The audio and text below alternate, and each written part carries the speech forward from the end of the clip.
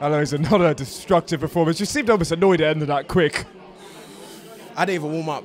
I'll be real. I, did, I only threw one jab. That's what I think. That's what I recall. I threw a jab. But yeah, it it's ended quick. I, what could I do? It's a nice statement performance, live on television. People get to see some of that power that you know you have. Oh, I am a monster. I told you, they don't call me animal for no reason. I have this gorilla power stuck to my muscles. You know, I gotta let it unleash on someone. Is that then the goal? Just keep knocking people out, keep putting your name forward. To be honest, I never look for the knockout. Truly, I never ever look for the knockout. I just take my time, find the right shot, and they just drop. Really. Were you expecting it to be that quick? I, wa- I was thinking I was gonna take him out in the third. Really. It felt like the moment he felt that power in the body shot, he was like, no, I don't, I don't want this. Makes sense. Is this something that you're kind of getting used to now, that these guys just don't want it in there? I'm not gonna say used to because I prepare for everything. I prepare for it for me to go to a 4-4. I mean a full four. You know, I train extremely hard. I did a lot of runs for this, so uh, I'm a bit annoyed that I didn't go the full way, but it's okay. That's one of the things that, you know, you're at the beginning of your career. It might be nice to get through those rounds, wouldn't it? Get that practice. But do you know what is one of my big bros told me? He said, get the early nights out because when the hard nights come, you gotta stay there. So it's alright. Is that then we're looking at that towards six rounds, six round fights, even if we don't get there, but at least have the possibility to go six rounds. My next fight will be six, so we're gonna get more rounds in. Do you feel these kind of performances, these statements out there as well, is going to make you be booked more often, get those fights that you crave? Absolutely. I spoke to Frank Warren and he's saying he's gonna get me out more. So Uncle Frank needs to get me out. That's just the goal, isn't it? Put these good performances, put the statements, make people know your name. Absolutely. And then, do we? How do we feel like the progression is going? Do you feel you're getting stronger? Do you feel that you're getting better as a boxer as well, even though we're not getting to see that at the moment?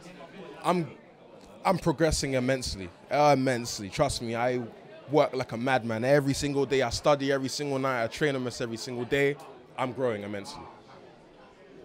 Is it then you feel like you want to get into these fighters that are also going to be coming then for the victory? You know, is that kind of the opponents you want maybe soon? Do you know what?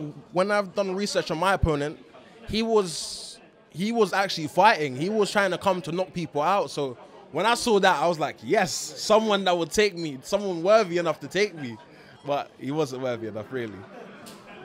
But it's good that you have that. You have to look at these angles. You have to you have to prepare for everything. That's that's going to be good for your progression, isn't it? Yeah, absolutely.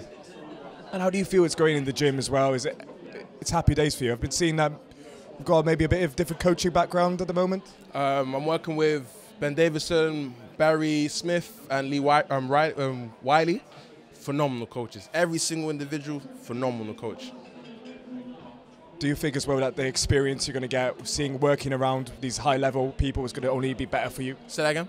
Being able to work with such high level people, you know, the names, the people in the gym that Ben has, it's going to give you even more experience and more education. Absolutely. I, I, I believe all that experience helps out, but I still got to appreciate the individuals behind me before. For instance, my coach, like Martin Malcolm, phenomenal coach. You know, he helped me to get where I am today. And I have to always appreciate him for what he's done for me. It's all part of the journey, but do you think this is the next step? Absolutely, man. I need to be a world champion. I'm- I'm dying to be a world champion. So I work every single day. And then the goal then, 2023, active, many rounds, six fights, six rounders. Is that the goal? Absolutely. Well, we can't wait. Hopefully, it's not a sensational performance like tonight. You keep entertaining us. Trust me, every single performance has to be entertaining. I strive for excellence, and if I strive for excellence, it keeps getting better and better and better. Well, so far we have not not been entertained, so keep it going. Definitely. Thank you, mate. Cheers, mate. Thank you.